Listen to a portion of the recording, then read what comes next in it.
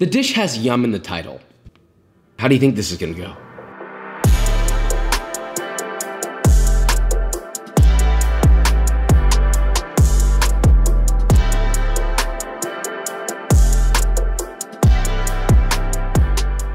Okay, so we're making Tom Yum. Now, why does that matter? If you're asking that question, then you've never had Tom Yum. It is hands down one of the greatest soups that has ever been created by a human being. Period. End of story. I'm not getting that deep into it. It is the perfect mix of flavors I can possibly think of. As soon as it lands on your tongue, it hits every single segment of your brain 100%. You know, they say like, oh, you only use a certain percentage of your brain, which I'm pretty sure that was proven incorrect. But this goddamn Tom Yum will make you use 100% of your goddamn noggin. I'll tell you that.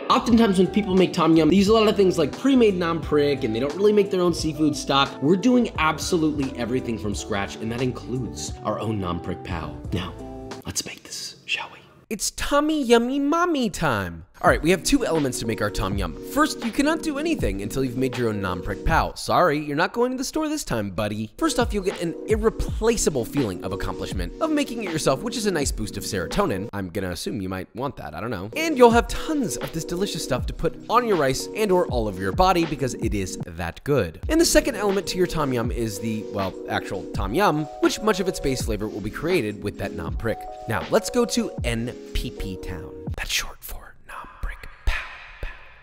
First, let's prepare our tamarind. Get yourself a third cup or 90 grams of tamarind paste. This stuff is thicker than my thighs, so to get that worked, pop it into a bowl and pour over half a cup or 120 milliliters of boiling hot water. Stir it and let it sit for a few minutes. Stir again till smooth, then pass it through a mesh strainer until the majority of it has passed through and nothing else will. And well, that's it. That just gets any potential seed fragments out and it turns it into a more fluid paste. The rest is very, very easy. Get a nice wok and add one and a quarter cup or 295 milliliters of vegetable oil. And actually, wait, let me preface the next bit. We're doing the following recipe pretty much 100% in grams. Oh, why, Josh? Why did you do this to us? Well, because a proper nam prik pao needs to be highly consistent. And due to the fact that each vegetable is incredibly different in size, well, we do it in grams. So please take any complaints to the comments and potentially receive a kiss from Papa. Before heating that oil, add 50 grams of garlic, peeled and thinly sliced, then turn the heat to medium and let that bad boy naturally come up. First, the garlic will start to bubble, then fry, and let that bad boy cook, stirring occasionally until the garlic is toasted and golden brown. Remove from the oil with a skimmer and place on a paper towel to drain. Next, add 100 grams of peeled and thinly sliced shallots. Leave the oil on medium and let those bad boys fry, stirring constantly. Then once most of the bubbling has subsided and they're a nice golden brown, quickly remove them from the oil, and yes, they will continue to brown when removing them, so, you know, try to be a little preemptive here, and drain on a paper towel. Last, you'll add 50 grams of deseeded dried puya or arbol chilies. Gently stir those and fry for about 20 to 30 seconds or till fragrant and beginning to darken. Remove and drain yet again on a paper towel. This just helps get the chilies toasted more specifically. Crunchy. While those bad boys are cooling, add 25 grams of dried shrimp to a food processor and process on high until you get as fine of a powder as possible. Dump that out, then in the same food processor, add your fried chilies, fried garlic, and shallots. Now don't try to get smart when making this recipe and try to do the dried shrimp with the chilies and garlic, because the shrimp won't get fine enough like that. Papa makes his recipes a certain way for a certain reason. I'm tired of the DMs.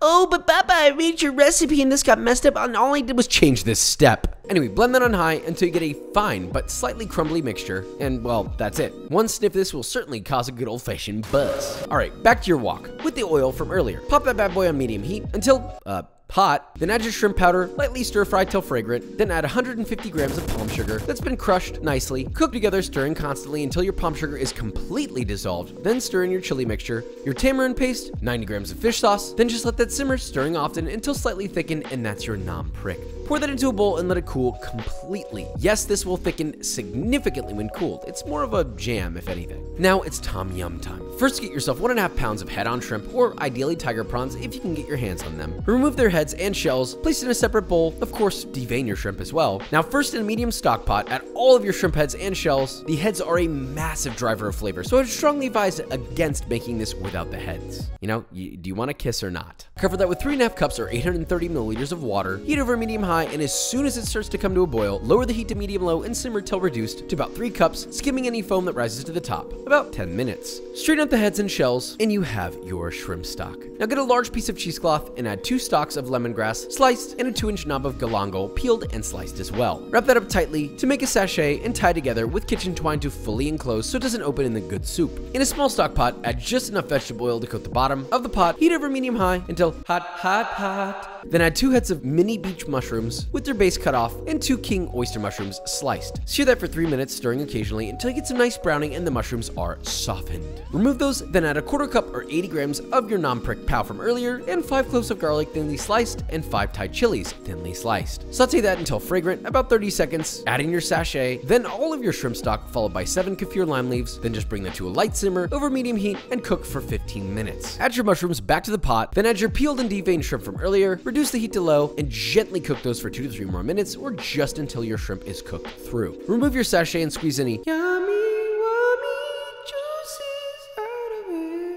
Then hit that with a quarter cup or 55 grams of fish sauce, 3 tablespoons or 38 grams of lime juice, and 3 tablespoons or 42 grams of palm sugar. Give it a taste and adjust the seasoning as needed. You know, oftentimes when I make this, I find myself going back and forth between all three of those seasonings. You gotta get that balanced harmony of rich umami saltiness, a fair level of sweetness, and a nice zingy tartness. It's kind of hard to describe unless you've had it the right way. Play with it until it tastes incredible to you. Optionally, you can toss in half a bunch of cilantro and Thai basil to steep in the hot broth just before serving, and then, well, guess what? Get yourself a bowl, serve it up. I like to add a little bit of the oil from the nam prik pao to each bowl, but you could also use regular chili oil. Garnish with fresh cilantro leaves. Now that looks like a god dang near perfect bowl of tom yum that was given about all the love it deserves. And we could stop there, but as soon as I tasted this, it was so god dang good. It felt like a borderline fancy experience, so obviously I made a fancy version. This is more of a technique rather than just a recipe, so let's play it out. First, here's the elements to the dish. Seared king oyster mushrooms, browned butter lobster, scallion emulsification, and sort of a coconut enriched tom yum. Now first, our mushrooms were sliced about a half inch thick, scored in a crosshatch, and seared in a pan. I used a weight to keep them pressed down for even searing, flipped to enjoy a visceral deep browning on each beautiful mushroom. Seasoned with salt only to highlight that classic mushroom flavor. For the scallion puree, I lightly simmered two bunches of scallions or green onions in water until incredibly soft, added to a blender with a few cloves of garlic and a splash of rice vinegar, blended it on high until super smooth, then emulsified with a couple tablespoons of toasted sesame oil and the rest with vegetable oil until it reached the desired consistency and thickness. Pass through a fine mesh strainer, season to taste with salt, and add it to a squirty squirt bottle. As for the lobster, I kept it simple. Take a lobster from its shell while it's still raw, gently to keep it, you know,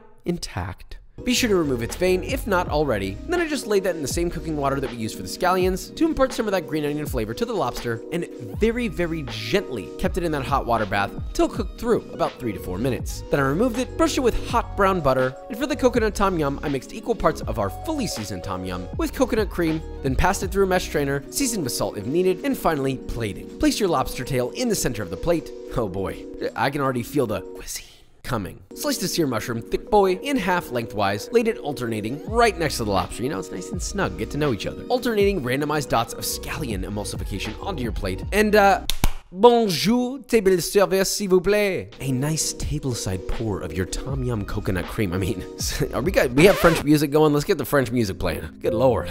a little line of furikake on the mushrooms, some nice dots of chili oil on the tom yum cream, and finally some fresh cilantro and baby Thai basil leaves. Not gonna lie, although this is a bit of a way away from a tom yum, it has the essence of its soul in there, and it looks ridiculous. So let's taste test this and see what we think of both Mr. Traditional and Mr. Fancy. Wow, this took a lot longer than I thought it was gonna take. This whole process, including the nam prik, should take you a grand total of maybe one to two hours maximum. But if you go to the store four times, then it will take a very long time. So don't do that. All right, we have two different variations.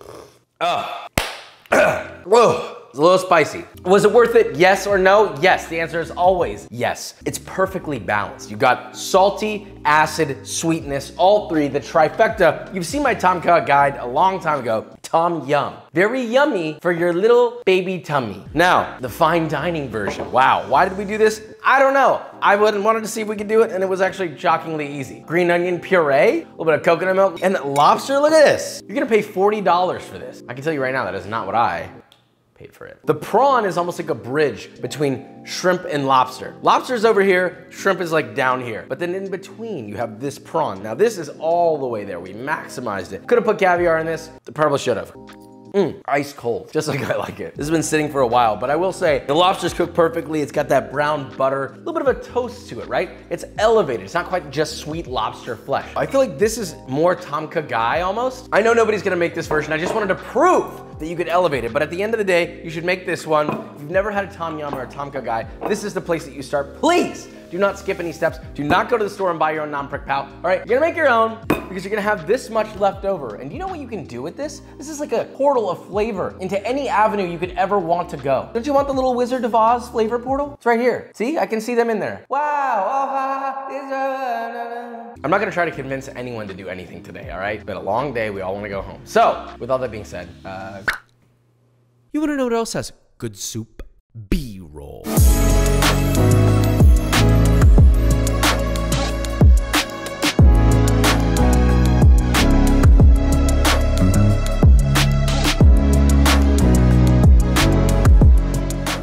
Alright guys, and that is it. So we made our Tom Yum and it came out beautifully. The fancy one wasn't exactly a Tom Yum, right? It was something of its own. But I don't think that's necessarily a bad thing because it still had that essence of Tom Yum. It had the flavor of it there and it had the mentality of it. I do want to clarify one major thing about this recipe. If you are going to make tom yum ever, whether you make your own fish stock or shrimp stock, that's up to you. But the nam prik is absolutely essential. I would say that is the number one thing you should be making here today, brother, all right? Learn you something and make the goddamn nam prik. This is almost more of a recipe for nam prik pao than it is for tom yum, although it will make the greatest tom yum of your life. So the choice is yours, but if you enjoyed this video or you learned something, leave a like, subscribe, and I will see you next time.